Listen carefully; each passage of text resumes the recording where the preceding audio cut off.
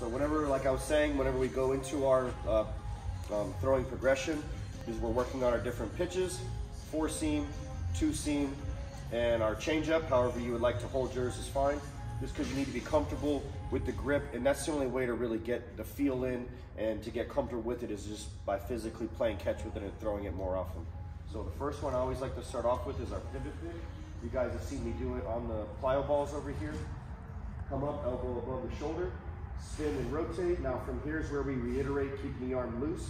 We can have a firm grip on the ball, but the arm should never be tensed up when you're trying to generate arm speed. I can't whip something that's stiff. So hips are forward, feet are forward, gloves side out, elbows up here, gradually rock it back, pull down and release out in front.